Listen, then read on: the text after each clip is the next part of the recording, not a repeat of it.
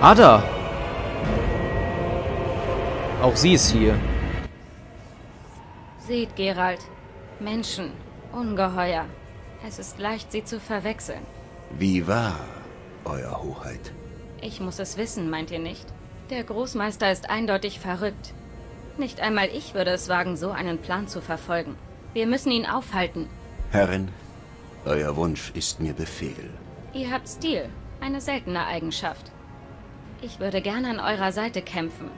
Seht es als eine meiner Launen. Als Striege sogar. Krass. Und Triss ist auch noch bei uns. Mit einer Striege, Triss und uns können wir gar nicht verlieren.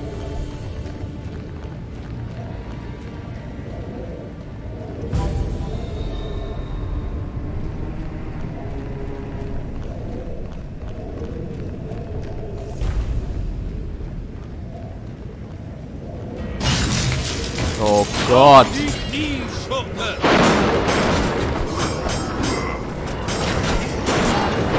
Wo ist Anna?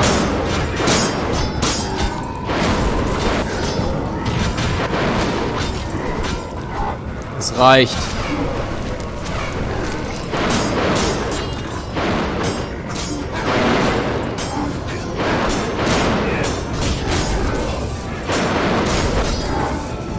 Verdammt. Die können doch ganz schön widerstandsfähig sein. Gut, dass nicht noch mehr von ihnen entstanden sind. Ada. Ada ist verschwunden. Hier trennen sich unsere Wege. Warum? Im Herzen der Vision kontrolliert er alles. Ihr müsst allein weiter. Bis bald, Triss. Ich komme zurück. Viel Glück, Gerald. Danke. Wir müssen allein weiterziehen. Und wir dürfen jetzt noch ein letztes Mal meditieren, was ich sehr witzig finde, aber ich muss nicht meditieren. Ich will ihn nicht länger warten lassen. Wir müssen ihn vernichten. Jack de Aldersberg. Du bist an allem schuld. Und jetzt wirst du dafür büßen. Und da ist er. Der letzte Kampf. Alles oder nichts. Begreift ihr jetzt, dass um jeden Preis gehandelt werden muss? Gerald, öffnet die Augen, öffnet euren Geist. Leute wie euch behandelt man im Krankenhaus des heiligen Majoran. Ihr verfolgt mich und beweist damit, dass ich recht habe. Ihr habt euch den Gefahren gestellt, die der Menschheit drohen, und überlebt. De Aldersberg, euer Traum ist ausgeträumt. Geduld. Vielleicht überlegt ihr es euch noch anders. Stellt euch Tausende vor, die eine Eiswüste durchqueren. Könntet ihr sie verteidigen? Ihr und eine Handvoll von Zweifeln geplagter Hexer, so wie Berengar? Unmöglich. Das können nur die großen Brüder, aber sie müssen unterrichtet und geführt werden. Sie brauchen euch.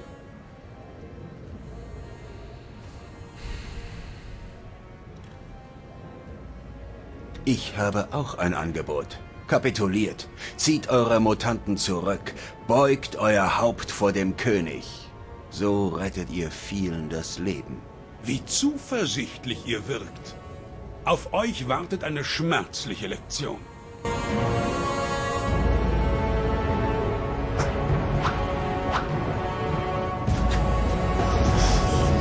Wo ist er denn jetzt schon wieder hin? Noch mehr Mutanten. Etwas anderes als seine Schergen gegen uns auszusenden kann er wohl nicht. Das wird nicht reichen. Jack, das wird nicht reichen.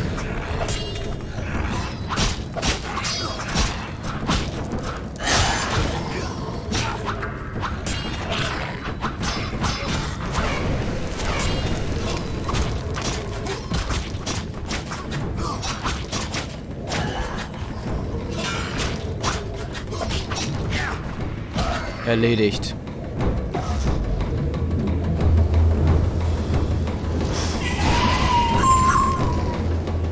Und seine Omen des Feuers. Viele davon. Kämpf mit mir. Jack.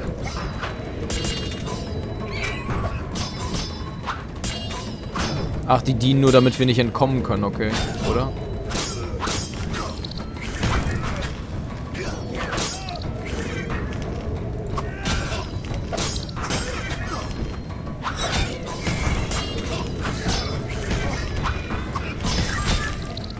Sie nicht treffen. Warum nicht?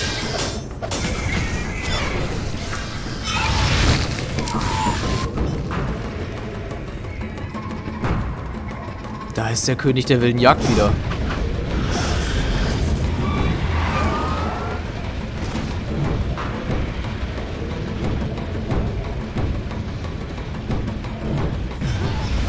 Aber warum?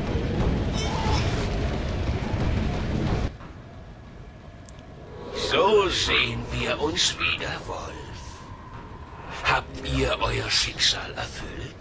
Die Salamandra sterben. Sie gehören bald der Vergangenheit an. Die Salamandra sind bedeutungslos. Sie waren nur ein Teilchen des Chaos, das Werkzeug des Mannes, den ihr eben getötet habt. Eure Vergangenheit, euer Schicksal, die Gründe für eure Auferstehung. Alles bleibt im Dunkel. Worte, Worte, Worte. Ihr wolltet das Schicksal betrügen. Wisst ihr nicht mehr? Ihr habt einen Eid geschworen. Ich bin gekommen, dieses Versprechen einzufordern. Ich erinnere mich an nichts. Besinnt euch eurer Taten, Hexer. Ich stand in eurer Nähe, als ihr in Kaer Morhen eintraft. Ein Omen des Unterganges. Ich sah mit an, wie ihr die Dörfler des Umlands gerichtet und nur Blut und Feuer hinterlassen habt. Ihr habt Raimund den Tod und Shani in Gefahr gebracht, weil ihr nur eure Ziele verfolgtet. Das Chaos folgt euch auf dem Fuß. Ihr habt Dutzende mit eurem Hexerschwert abgeschlachtet. Ihr habt mitgeholfen, die fanatische Herrschaft des Ordens zu festigen. Ihr habt Visima dem Chaos überlassen, nur um Zerstörung über Trübwasser zu bringen. Jede eurer Entscheidungen brachte neue Verwüstung. Jede Wahl, die ihr getroffen habt, führte zu noch mehr Bösem. Visima brennt, der Orden und die Skoyatel lassen Temerien ausbluten. Schmeckt eure Neutralität nicht bitter? Hört auf. Leugnet es nicht, Hexer. Ihr seid mein größter Recke. Ein vollkommenes Instrument der Zerstörung. Wohin ihr auch geht, folgen euch Tod und Chaos. Genau wie es schon vor Jahren war. Akzeptiert es! Kämpft nicht dagegen an! Überlasst mir noch einen weiteren Mann, den ihr vernichtet habt. Jacques de Aldersberg gehört mir. Ihr wagt es mir zu trotzen. Ich spüre eure Schwäche. Jetzt, wo das Leben aus euren Wunden rinnt. Mit jedem Tropfen rückt der Tod näher. Ihr habt keine Chance gegen mich. Ergebt euch mir. Nehmt ihm jetzt sein Schicksal einerlei. Nein, niemals. Niemals. Niemals. Das ist etwas zwischen ihm und mir. Ihr wollt ihn doch sowieso töten. Stimmt. Aber aus meinen Gründen. Und die gehen euch nichts an. Geht, solange ihr noch könnt. Geht, bevor es zu spät ist. Ihr wollt gegen mich kämpfen? So sei es. Eure Flucht vor dem Tod endet hier. Zieht euer Schwert! Ich hatte schon befürchtet, ihr würdet Schach vorschlagen. Er verliert auch echt seinen Humor nicht. Der König der wilden Jagd also. Ich habe ein bisschen Igni für dich. Du oller Geist.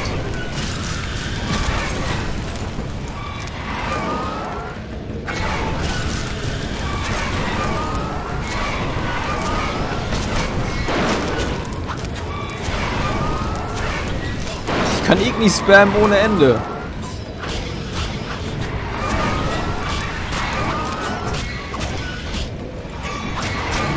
Mit Geistern kann ich umgehen.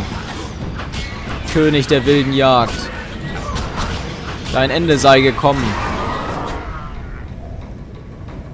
Der ist besiegt. Zumindest fürs Erste.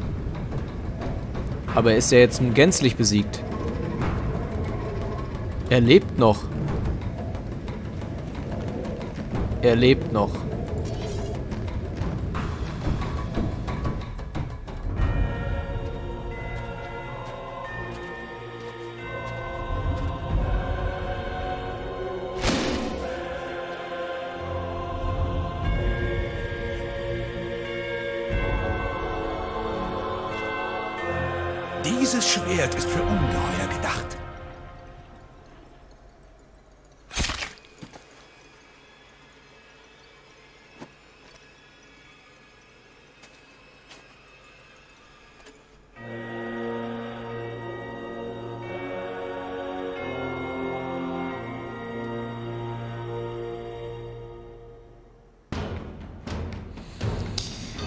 Darüber reden wir gleich noch. Sehr, sehr interessant.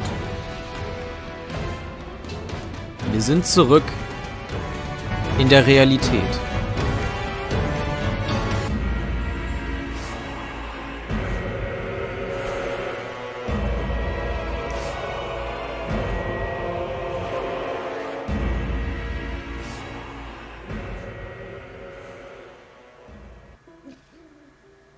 Ihr seid wach, Gerald. Ich habe mir langsam Sorgen gemacht. Rittersporn. Wo ist der Großmeister? Ein paar Schritte entfernt. Er ist tot. Für einen Moment hatte ich befürchtet, ihr werdet ebenfalls verloren. Es war kein erholsames Schläfchen. War ich lange weg? Lange genug. Die Kämpfe wurden beendet und Volltest ist wieder an der Macht. Obwohl Triss ihn unterstützt hat, sind die Folgen schrecklich. Geht es ihr gut? Ja, sie ist wohlauf. Sie hat über euch gewacht, musste dann aber weg. Ihr wisst schon, politische Verpflichtungen. Sie ist zwischen dem König, ihren Zauberfreundinnen und ihrem Privatleben gefangen. Was ist mit euch? Hattet ihr Erfolg? Ja, ich nehme Jacques das letzte Element ab und schließe dieses Kapitel. Das letzte Element also, ja.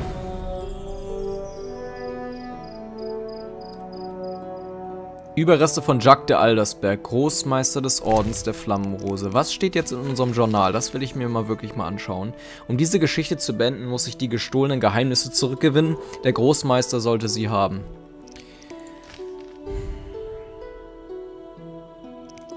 Das ist schon... Das ist...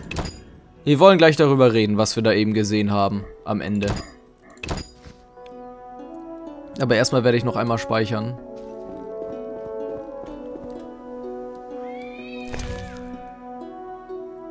Aus Kermorhen gestohlene Geheimnisse. Eine versiegelte Schmuckschatulle, die der gestohl letzten gestohlenen Geheimnisse der Hexe enthält, die die letzten gestohlenen enthält. Etwas endet, etwas anderes beginnt. Und dann haben wir hier noch ein Demeritum-Amulett. Ein kleines Amulett aus blauem Metall.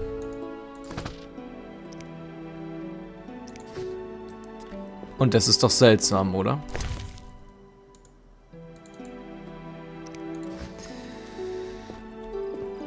Es ist, denke ich, nicht sehr weit hergeholt, wenn man sagen kann, dass Jack der Aldersberg niemand Geringeres als der kleine junge Alvin ist, den wir damals aufgezogen haben oder damit dabei zumindest geholfen haben.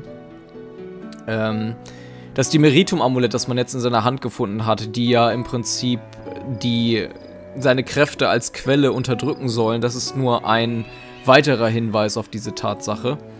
Es finden sich im Laufe des Spiels eigentlich verschiedene kleinste Andeutungen, dass es eben so ist. Ich meine, ich finde es ganz äh, interessant und ganz lustig, dass Alvin ja in Trübwasser immer dieses Töte den Elfen spielen wollte und er wollte immer der Großmeister sein. Komisch. Jacques der Aldersberg ist ein Großmeister. Sein Hass auf Anderlinge ist dadurch auch im Prinzip bezeugt und interessant ist auch, dass je nachdem, was für Aussagen man Alvin gegenüber fällt, De Aldersberg etwas anderes zu einem sagen wird. In dieser Vision, also in dieser ähm, Zukunftsvision. ähm, in diesem Fall war es jetzt eben halt, dass er sagte, dass man so eine Gabe immer für eine gerechte Sache einsetzen sollte. Und das haben wir zu ihm auch gesagt. Das erklärt auch, warum er so ein persönliches Interesse an Gerald hatte, warum er so viele Einzelheiten über ihn weiß und auch so persönlich ist. Dann haben wir, wie gesagt, einmal das Demeritum-Amulett. Dann die Tatsache, dass er seinen Namen geändert hat, denn das ist nämlich auch ganz interessant. Ähm, es könnte sich einfach so zugetragen haben, dass Alvin durch die ganze Geschichte rund um Trübwasser, es wurde ja oft angedeutet, dass er mit seiner Gabe sogar durch Raum und Zeit reisen könnte. Er muss in die Vergangenheit gereist sein und ähm, ja, wusste somit um den Konflikt zwischen Scoia'tael und Rittern der Flammenrose, beziehungsweise den ganzen, Hass, den es zwischen Menschen und Anderlingen gibt. Hat dann ähm, durch, seine, durch seinen älteren Blut eben diese Vision von der Zukunft gehabt und hat halt mit seinen Mitteln versucht, das aufzuhalten. Er hat äh, sich dann einen neuen Namen gegeben. Und das ist nicht sonderlich verwunderlich, denn Alvin heißt Elfenfreund. Und dieser Typ ist so ziemlich alles, aber kein Elfenfreund. So ist eben Jack der Aldersberg geboren worden. Und es ist genau das passiert, was wir jetzt hier erlebt haben. Ähm, eine weitere interessante Sache, finde ich, ist, dass man in der Vision ja mehrere Geister hatte, die zu einem gesprochen haben. Es gab einen einzigen Geist, der nicht zu einem gesprochen hat, und das ist Alvin. Und ich erkläre mir das so, dass alle Geister, die mit uns gesprochen haben, Geister sind, die wir irgendwie mit in die Realität gebracht haben. Alvin aber vom Großmeister mit reingebracht wurde und es deswegen sein könnte, dass er eben nicht zu uns sprechen konnte. Weil er, ja, im Prinzip ja nur eine andere Version seines Ichs hier war. Ähm, ja. Also meine Theorie ist, dass der Großmeister und Alvin ein und dieselbe Person sind. Wahrscheinlich kann man Jack der Aldersberg. Es stellte sich heraus, dass der Großmeister des Ordens der Flammenrose hinter den Taten der Salamandra steckte. Jack der Aldersberg gab Befehle an den Professor und Azad Javed, ja. Es, meiner Meinung nach würde das sehr, sehr, sehr gut zusammenpassen. Denn von Alvin erfährt man in der gesamten Trilogie ansonsten nichts mehr. Und warum sollte es diesen Charakter jemals gegeben haben, diesen wichtigen Charakter und auch seine Gabe, wenn das nicht irgendwann mal wieder aufgegriffen werden würde? Und das war eben in diesem Fall, in diesem Spiel, mit seiner neuen Identität. Was sagt Rittersporn denn jetzt hier noch? Hey ho. Also, habt ihr euch alles zurückgeholt? Wisst ihr, was ich beim Großmeister gefunden habe? Einen Dimeritum-Anhänger. Ist es der, den ihr Alvin gegeben habt? Ich weiß es nicht. Er sieht ähnlich aus, aber älter. Er muss ihn jahrelang unter seiner Rüstung getragen haben. Vielleicht ist er ein Andenken. Möglicherweise hat er damit feindliche Magie abgewehrt. Oder er hatte es bei sich, um angeborene Fähigkeiten zu kontrollieren. Unbarmherzige Vision. Genau so ist es ja Das auch. werden wir wohl nie erfahren. Es ist auch nicht wichtig. Jacques de Aldersberg, wenn das sein wahrer Name war, ist tot. Ende der Geschichte. Was jetzt, Gerald? Was meint ihr? Kommt schon. Ihr habt das Gestohlene wiederbeschafft und die bestraft, die euch verletzt haben. Ihr habt politische Spielchen gespielt und Verschwörungen aufgedeckt. Ihr habt geliebt, ihr habt getötet. Ihr habt einen langen Weg hinter euch, Gerald. Was gedenkt ihr jetzt zu tun? Ich will jetzt Ruhe und Frieden. Erst jetzt spüre ich, dass mein neues Leben anfängt. Ja, Erst jetzt spüre ich, dass mein neues Leben anfängt. Neu geboren, in Blut und Feuer getauft. Eine neue Ballade? Zu pompös für meinen Geschmack, Rittersporn. Seht euch um. Das Leben ist einfach, unvorhersehbar und schön. Das ist neu. Ihr seid aus der Unterwelt zurückgekehrt und in ein riesiges Chaos hineingeraten. Ihr habt euch Bestien und üblen Dreckskerlen gestellt, die euch ans Leder wollten, und da sagt ihr mir, das Leben sei schön? Ihr übertreibt ein bisschen. Etwas endet, etwas anderes beginnt. Ich nehme die letzten geraubten Geheimnisse, atme tief durch und ziehe weiter. Was soll ich noch sagen? Viel Glück, Hexer. Wir werden uns doch eh wiedersehen. Es schien, als würde der Konflikt zwischen dem Orden der Flammrose und den Skoyatel Vysima in Ruinen verwandeln. Jedoch fand Voltest eine Lösung. Er ließ beide Seiten sich zerfleischen. Nach dem rätselhaften Tod des Großmeisters war die Macht des Ordens bald gebrochen. Die Blüte der Elfenjugend schied beim Kampf in den Straßen Vysimas dahin. Es gab keine Sieger. Der Aufstand der Anderlinge schwächte Temerien und Foltest erkannte, dass er versierte Diplomaten brauchte. Triss Merigold wurde königliche Ratgeberin, der Einfluss der Zauberinnen wuchs. Der König bestrafte diejenigen, die während seiner Abwesenheit gegen ihn intrigiert hatten. Sie wurden umgehend durch andere ersetzt. Die einfachen Leute erkannten keinen Unterschied. Sie waren zu sehr damit beschäftigt, nach ihren Familien zu suchen. Nur wenige wussten, was in jenen Tagen in Vysima wirklich geschehen war. Das waren jene, die das Schicksal mit Gerald von Riva zusammengeführt hatte. Doch sie beschlossen zu schweigen. Und was geschah mit dem Hexer? Das ist wieder eine andere Geschichte. Und diese Geschichte ist noch nicht auserzählt.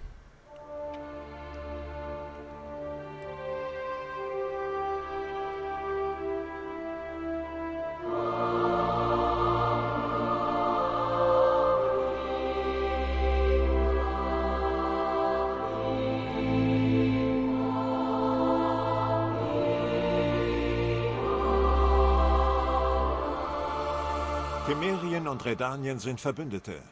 Daran habt ihr nicht wenig Anteil. Nehmt einen prallen Beutel Gold für eure Mühen.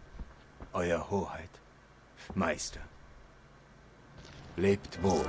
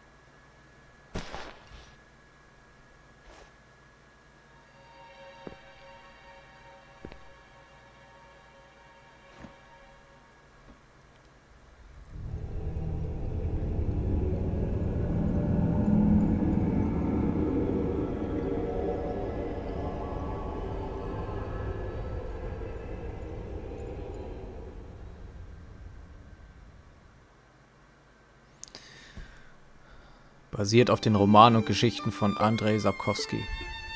Andrzej. Spielvision Michal Kicinski. Ich kann die Namen alle nicht aussprechen, deswegen versuche ich das jetzt lieber auch gar nicht. Ähm, ja. Drei Sachen habe ich noch zu sagen. Erstens, natürlich sieht das Dimeritum Al äh, Amulett von Jack de Aldersberg alt aus. Wenn Alvin in die Vergangenheit gereist ist, ist es natürlich ziemlich mit ihm gealtert.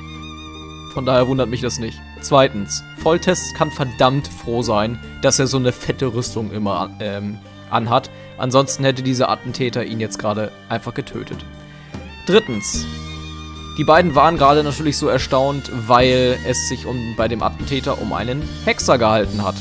Und das einigermaßen komisch ist, denn man dachte ja bisher, dass man alle noch lebenden Hexer irgendwie kennt. zumindest der Wolfsschule. Es gibt aber verschiedene Schulen und hiermit wird im Prinzip die Brücke geschlagen zum zweiten Teil, The Witcher 2 Assassins of Kings. Wie man es schon am Namen hört, wird das ein zentraler Teil ähm, dieser Geschichte sein, dass eben Attentate auf die Könige des Nordens ausgeführt werden. Und einer davon war jetzt Foltest. Und das Blöde ist, dass Gerald gerade sein neues Leben beginnen wollte und schon wieder sich irgendwo politisch mit reinziehen lässt. Denn das ist gerade in diesem Moment geschehen. Ihr könnt auf jeden Fall gespannt sein, was da passieren wird. Zumindest für all die, die den zweiten Teil damals noch nicht bei mir gesehen haben auf dem Kanal. Wir werden auch davon ein Let's Replay machen und werden danach übergehen in endlich das Let's Play zu The Witcher 3 Wild Hunt. Hat auch ganz schön lange gedauert, oder? Bis ich damit endlich mal anfange. Aber ansonsten bleibt mir eigentlich nur zu sagen, dass das ein tolles Spiel ist, auch wenn es an der einen oder anderen Stelle nicht, nicht, also es ist nicht sehr gut gealtert, muss man sagen.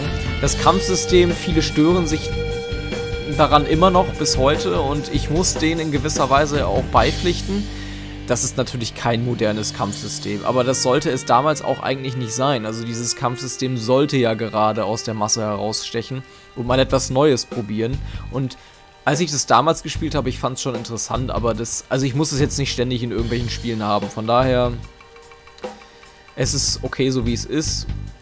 Leider war das Spiel auch jetzt noch ziemlich verbuggt. Das war damals auch so. Das war einfach ein Bugfest.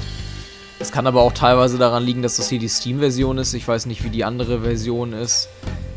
Ähm, von daher mag ich da jetzt kein finales Urteil drüber bilden, aber als ich das damals gespielt habe, das Spiel, kurz nach Release, da war es halt eben auch schon so, dass es relativ verbuggt war.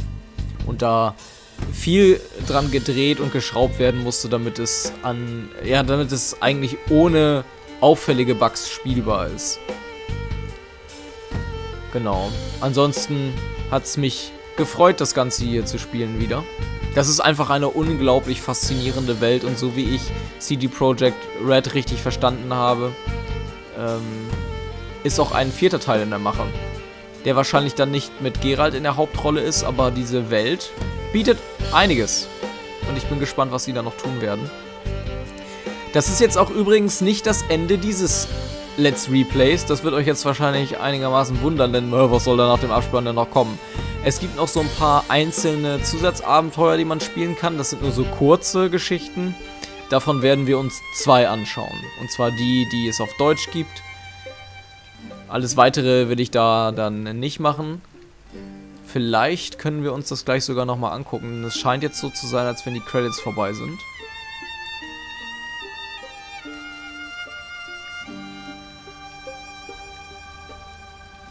Special Thanks. BioWare Aurora Engine.